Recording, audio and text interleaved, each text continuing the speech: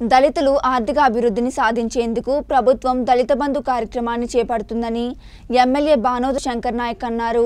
మహబూబాబాద్ జిల్లా కేంద్రంలోని ఎన్టీఆర్ స్టేడియంలో దళిత బంధు కార్యక్రమంలో భాగంగా ఎంపికైన లబ్ధిదారులకు ఎమ్మెల్సీ రవీందర్ రావుతో కలిసి ఎమ్మెల్యే వాహనాలు అందజేశారు. ఈ సందర్భంగా ఆయన మాట్లాడుతూ స్వాతంత్ర్యం వచ్చి డెబ్బై ఐదు ఏళ్ళలో ఏ ప్రభుత్వాలు ఏ పాలకులు చేయని విధంగా ప్రభుత్వం ప్రతిష్టాత్మకంగా ప్రవేశపెట్టి అమలు చేస్తున్న దళిత బంధు పథకాన్ని లబ్ధిదారులు సద్వినియోగం చేసుకుని ఆర్థిక వృద్ధి సాధించాలన్నారు. ఈ నిధులను వినియోగించుకుని యూనిట్ల స్థాపన ద్వారా ఆదాయం పొందాలన్నారు. ఈ కార్యక్రమంలో municipal chairman Rammohan Reddy ward కౌన్సిలర్లు పార్టీ శ్రేణులు పాల్గొన్నారు.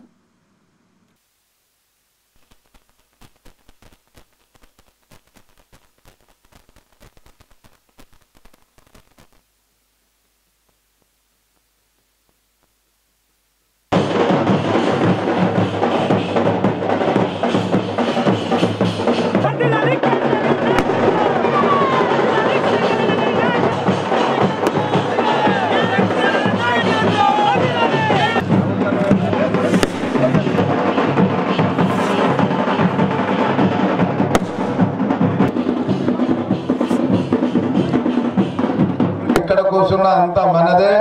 కాబట్టి దయచేసి అందరు మున్సిపల్ చైర్మన్ రామ్మోహన్ రెడ్డి గారు. అరేంజ్మెంట్ చేసిన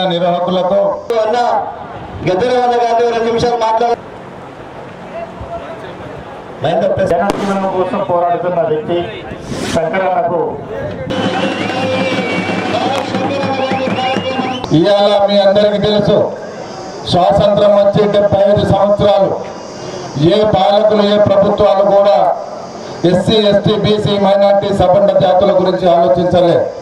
మన ప్రియతమ నాయకులు బడుగు బలహీన వర్గాల ఆశాజ్యోతి మనసున్న మహారాజు జనహృదయ నేత బంగారు తెలంగాణ అభివృద్ధి ప్రాంత గవశ్రీ కల్వకుంట్ల చంద్రశేఖరరావు గారి ఆశీస్సులతో ఇవాళ మా దళిత బంధుల జీవితాలలో వెలుగిచ్చిన మహానుభావుడు మా ప్రియతమ నాయకులు కేసీఆర్ గారు. అంతేకాదు కొన్ని సంవత్సరాలుగా నేను స్టూడెంట్ లైఫ్ నుంచి మా తండాలో మా రాజ్యం మా గ్రామాల్లో కావాలని చెప్పి పోరాడడం జరిగింది.